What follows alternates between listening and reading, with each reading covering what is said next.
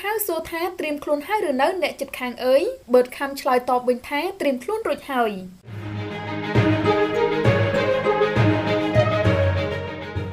បូខៅដែលត្រូវបានគេចាត់ទុកថាជាស្ដេចប្រដាល់របស់ថៃ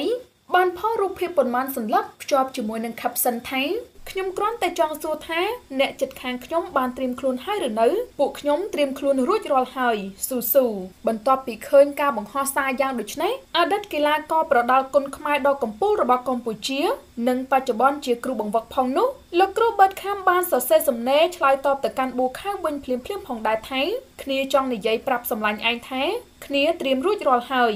សូមបញ្ជាក់ថាកីឡាករប្រដាល់ប៊ូខៅធ្លាប់បានប្រកាសក្តែងក្តែងនៅក្នុងសន្និសីទកសែតមួយថៃទៅខ្វល់អីរឿងគុនខ្មែរគេល្បីត្រឹមអាស៊ានតែប៉ុណ្ណោះចំណែកមួយថៃគឺល្បីទូទាំងពិភពលោកដែលការនិយាយបែបនេះ ធ្វើឲ្យប្រជាជនខ្មែរក៏ដូចជាអ្នកស្នេហាវិស័យកីឡាមានការមិនពេញចិត្តនិងខឹងសម្បាជាខ្លាំងសូម្បីតែអ្នកប្រដាល់មីយ៉ាន់ម៉ាកីឡាករដាវលីឌុចបានលើដូច្នោះក៏ចេញមកនិយាយថាកីឡាករបួខៅគឺជាមនុស្សកំសាខ្ញុំបបួលគេវាជាមួយខ្ញុំហើយខ្ញុំយល់ព្រមតាមលក្ខខណ្ឌរបស់គេជាច្រើនដូចជាមិនប្រើក្បាលវាយពាក់កង់ផ្សេងផ្សេងជាដើមតែគេនៅតែមិនហ៊ានប្រកួតជាមួយខ្ញុំទៀត ព្រោះគេដឹងថាមិនអាចតស៊ូជាមួយខ្ញុំបានទេបើហ៊ានប្រកួតខ្ញុំនឹងវាយគេឲ្យសន្លប់យ៉ាងអាម៉ាស់គូរំលឹកថាថៃមិនបញ្ជូនកីឡាករមកចូលរួមប្រកួតគុនខ្មែរក្នុងកីឡាស៊ីហ្គេមនៅប្រទេសកម្ពុជានោះទេដោយសារតែភិគីថៃមិនពេញចិត្តទៅនឹងការប្រើពាក្យគុនខ្មែរក្នុងកីឡាស៊ីហ្គេមដោយពួកគេចង់ឲ្យមានការកំណត់ជាឈ្មោះមួយថៃ